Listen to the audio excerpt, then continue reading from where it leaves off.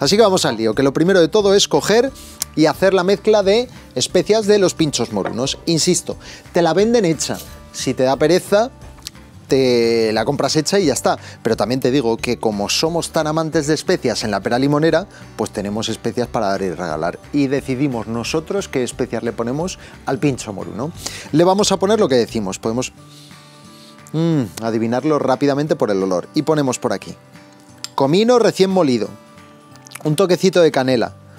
Un toquecito de jengibre molido. La nuez moscada que no engaña Cúrcuma, que es lo que le da el colorcito amarillo.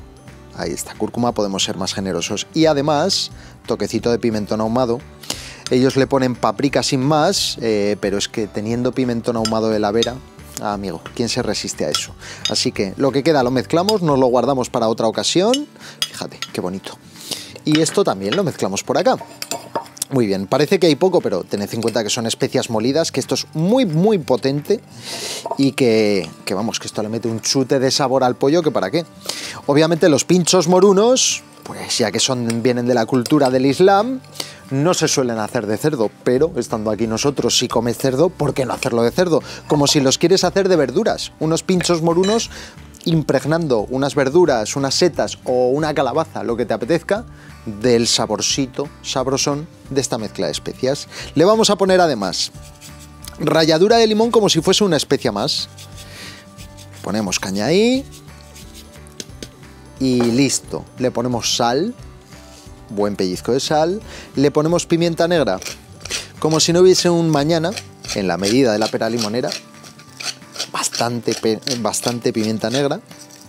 Y además sacamos el zumico del limón previo masaje. Esto es muy importante para romper las membranas que tiene el zumo de limón. Y de esa forma es mucho más fácil sacar el zumo de limón sin tener que apretar tanto y sin tener que rascar y llegar hasta la membrana blanca que es lo que amarga del zumo de limón. De esa forma, con ese masajito previo.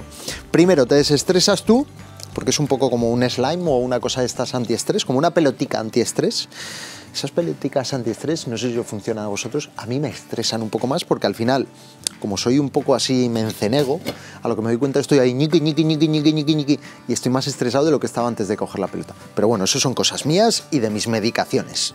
Ponemos zumo de limón, el limón lo que va a hacer es cocinar ligeramente el pollo y ayudar a que penetren las especias. Y si no tiro la zumera, pues mucho mejor. Y ponemos aceite de oliva virgen extra un chorretón de aceite de oliva virgen extra. Con esto tenemos ya la mezcla de especias. ¿Cuánto tiempo hay que dejar ahí el pullastre? Pues el pullastre hay que dejarlo ahí mínimo cuatro horas. Pero bueno, si lo dejas por la noche y lo cocinas al día siguiente, casi que mejor. Se tiene que teñir y bien teñido de todo este colorcito, de todo este sabor. Solo de mezclar esto ya empieza a subir por aquí un olor de los que hacen salivar. Así que vamos a introducir ahí los contramuslos de pollo. ¿Es importante el tamaño? Sí, en este caso sí. Porque tenemos que cortar dados eh, más o menos del mismo tamaño que cortaremos las verduricas para luego ensartar en las brochetas que todas las culturas tienen su brocheta. Aquí en España también las tenemos. En el sur, concretamente, están los famosos espetos que se clavan ahí en las brasas en la playa, en la arena, y que sirven para cocinar, pues sobre todo, sobre todo, las sardinas, pero al espeto puedes cocinar todo. De hecho, por ejemplo, en Aragón, por ejemplo, en el Pirineo, pues tengo recuerdos de haber comido un ternasco de Aragón al espeto, por ejemplo, espectacular. Ya sabéis que se ensarta ahí, haces una especie de cruz, clavas y se hace ahí a la brasa maravillosamente bien, uno de los bocados más deliciosos que he probado en mi vida. Así que todas las culturas tienen su espeto. Portugal, por ejemplo, también son muy de brochetas. En Perú tienen los anticuchos, que es un nombre muy curioso también. Así que en Argentina, como no, las brochetas. Las bruchetas italianas, la bruschetta, no sé cómo se pronuncia muy bien, no estoy seguro, por ahí andará. En fin, en definitiva, que las brochetas están hechas por un motivo, para no tener que usar cuchillo.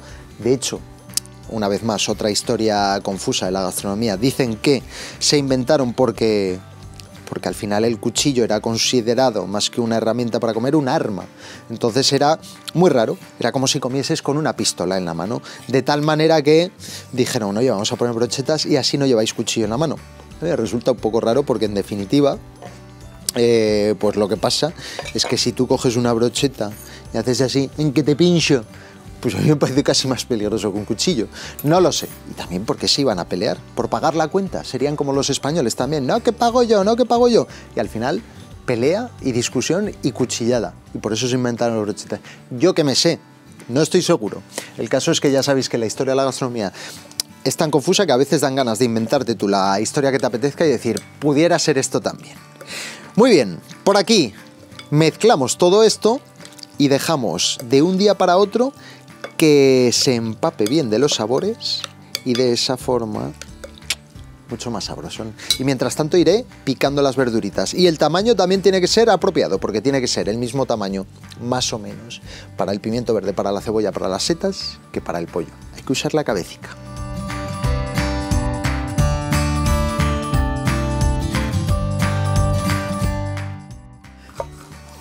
Cortando los vegetales nos hallamos, o me hallo, y aquí lo que vamos a hacer es lo que os he dicho, intentar que queden un poco de un tamaño similar a lo que hemos hecho con el pollo.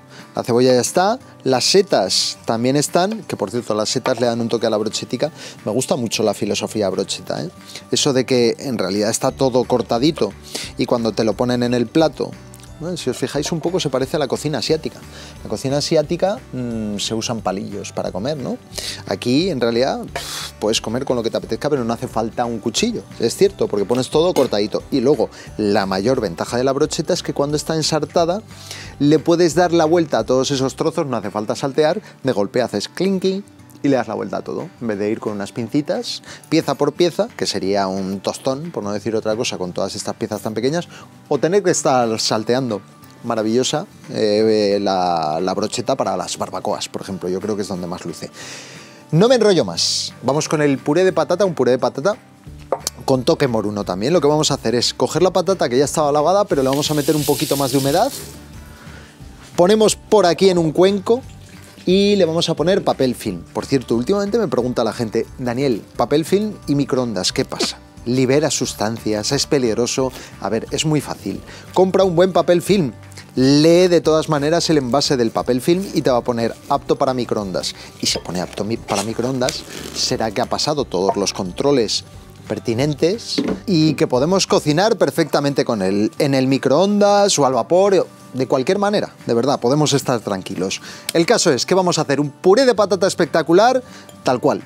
Lo metemos al microondas. Para dos patatas de tamaño medio, yo calculo que en ocho minutitos, porque mi microondas y yo somos uno, nos conocemos al dedillo, somos muy fans de cocinar con el microondas, ya lo sabéis, y al final, pues le coger los tiempos a la perfección. Así que, ahí está. Ocho minuticos y esas patatas van a estar perfectas para pelar, chafar, pero no de cualquier manera, porque las vamos a chafar con cilantro, con mantequilla y con jarisa, haciendo un puré de patatas moruno bien rico. Y mientras tanto, me quedo con una agradable tarea. Vamos a montar la brochetita. Comer brochetas, la verdad es que está guay. Montarlas ya es un poco más latoso, pero no pasa nada. Ponte música moruna, relájate un poco, ponte un té con menta y si quieres echarle un chorrito de coñac o de lo que sea y vamos a ensartar brochetas tralara.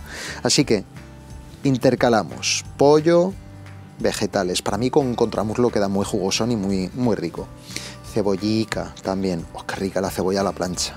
Intentamos eso, que más o menos quede todo al mismo nivel. Y repetimos con el pollo. Entre vegetal y vegetal, pullastre, seticas. Y apretando bien, ¿eh? Qué rabia me dan esas brochetas que dejan huecos entre, entre lo que es el alimento, que tú ves la madera o el metal de la brocheta. No, no.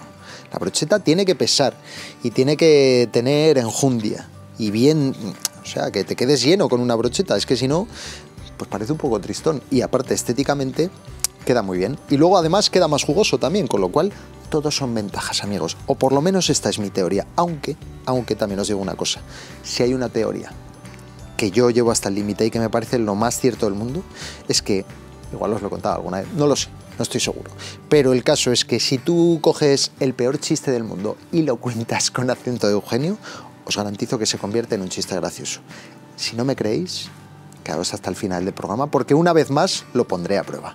Contaré el peor chiste del mundo con el acento de Eugenio y una sonrisica, seguro que os saco.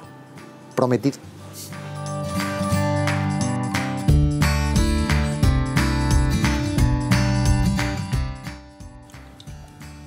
Sartén caliente, tampoco una salvajada porque el contramuslo tiene que hacerse un poquito, no es como la pechuga que enseguida está cocinado, con lo cual fuego medio alto, ponemos por acá, recordad que el mejunjito, el mejunjito pera limonera, atac, llevaba aceite de oliva, con lo cual tampoco hace falta una barbaridad porque esto en principio va impregnado de aceite de oliva.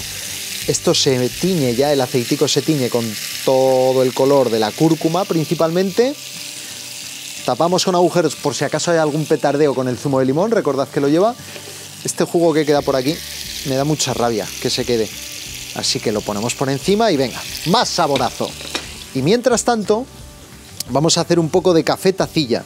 Lo he hecho con la primera patata, esta le ha dado un poco más de tiempo a enfriarse. Café tacilla, por si hay alguien de menos de 40 años que nos está viendo, es un sketch muy famoso que podéis ver en YouTube del mítico dúo cómico Martes y 13, en el que salía pues una persona tomándose una taza de café muy caliente de marca Café Tacilla y hacía ¡Ah!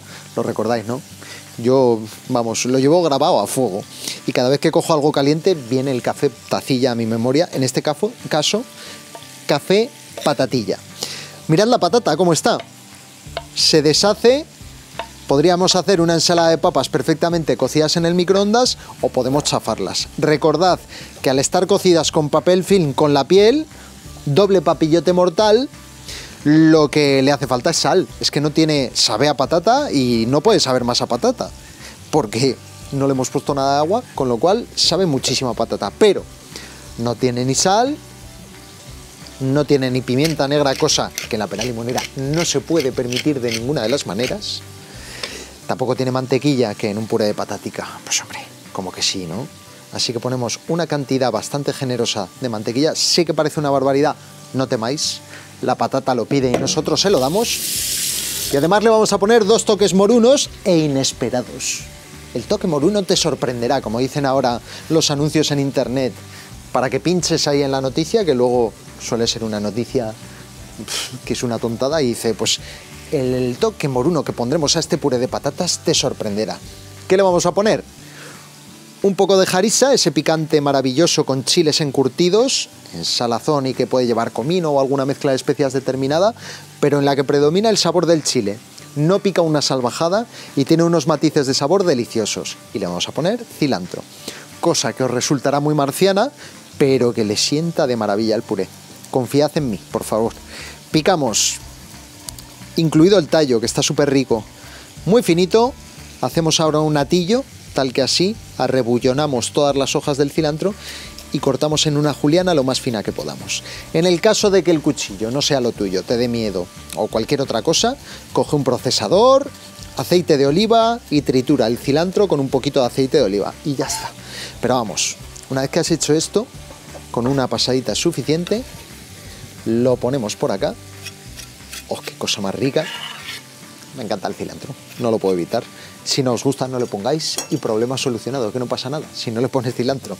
Y por aquí lo que vamos a hacer, con una de las herramientas de cabecera de la pera limonera, tecnología punta, chafa patatas, vamos a darle un poco al brazo y vamos a mezclar todos los ingredientes. Mirad, mirad qué fácil se hace. Poderoso brazo, ¿eh? Por eso. a ver, está Rafa Nadal, Schwarzenegger y luego yo a continuación.